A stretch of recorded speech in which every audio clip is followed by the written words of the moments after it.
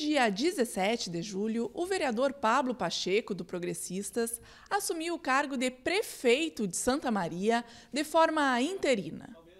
O parlamentar já estava substituindo o presidente da Câmara, Manuel Badic, do União Brasil, que está fora de Santa Maria por motivos pessoais.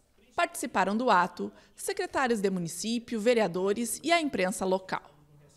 Prefeito Jorge Poçobon, do PSDB, explica que ele e o vice Rodrigo Décimo, do PSDB, estarão ausentes do município para participarem do leilão da parceria público-privada da iluminação pública em São Paulo.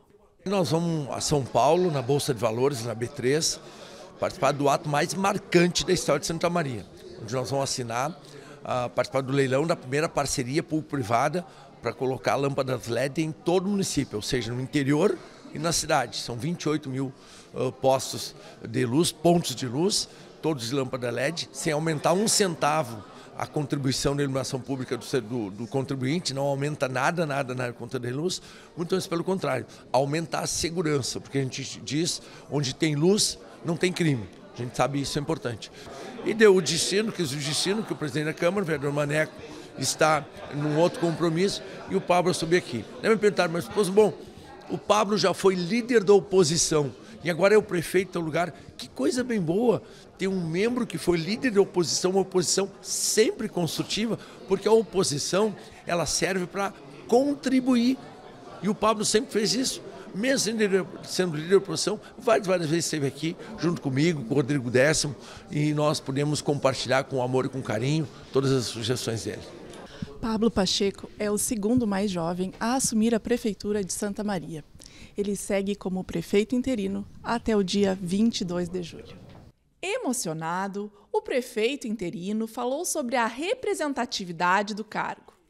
Antes dele, o mais jovem a assumir o posto foi Giovanni Mânica, do PPB, com 29 anos, em 2000 a gente tem uma responsabilidade de continuar trabalhando, mas o significado pessoal é uma, é uma grande satisfação de ter tido a confiança, a confiança dos meus colegas de fazer parte da mesa diretora, de estar presidente da Câmara e nessa impossibilidade do prefeito estar na cidade, eu poder assumir a, a prefeitura, isso demonstra, ainda mais vindo direto da Casa Legislativa, eu acredito tem um significado maior, porque a, o Legislativo representa 100% da população.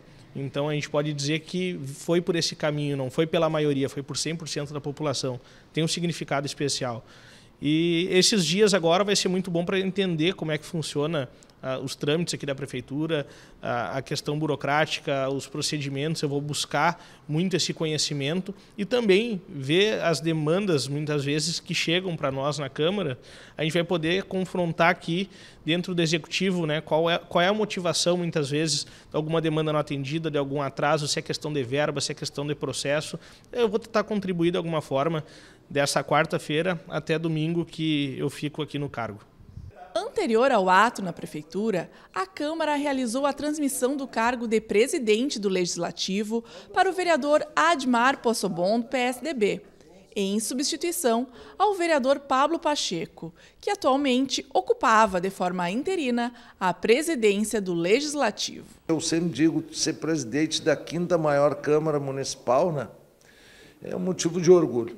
E hoje, claro que é um espaço pequeno, né, que a gente está em substituição ao presidente vereador Maneco, né, que, que não está na cidade. Assumiu o primeiro vice-vereador Pablo, que vai assumir a prefeitura também por um espaço curto de tempo, e a gente aqui vai dar seguimento ao trabalho, né, sem, sem fazer nenhuma alteração, é só seguir o trabalho dessa a diretoria que está este ano, então é bem tranquilo aí. Vamos reunir sim com os, os servidores por setor aí para ver se tem alguma coisa que a gente precisa fazer durante esses quatro, cinco dias que vamos estar à frente da presidência.